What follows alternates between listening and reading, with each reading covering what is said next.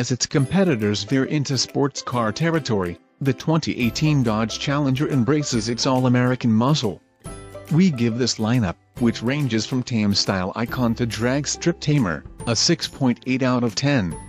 Read more about how we rate cars.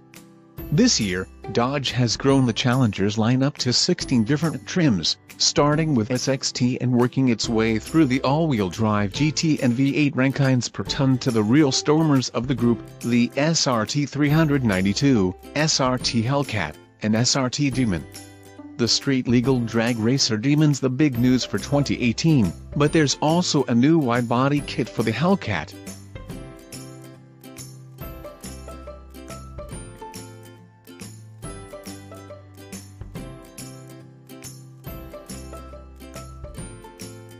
The Challenger's swagger isn't the only thing that's a throwback about this big coupe. It rides on a Mercedes-Benz derived platform that dates back to the 1990s and even the Challenger itself hasn't been fully redesigned since 2009. Still, Dodge has done a heck of a job keeping it up to date and enhancing its performance appeal. With up to 840 horsepower on tap in the new 2018 Challenger SRT Demon, this coupe is unlike anything else on the road today. The lineup starts with a 305 horsepower, 3.6-liter V6 powered SXT and GT, which both come exclusively with an 8-speed automatic transmission.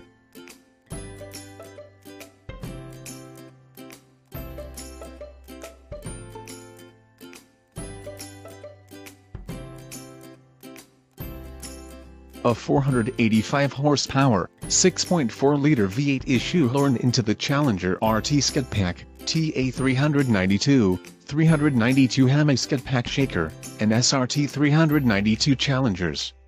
For most of us, those naturally aspirated V8s offer more than enough power and are available with 8-speed automatic and 6-speed manual transmissions.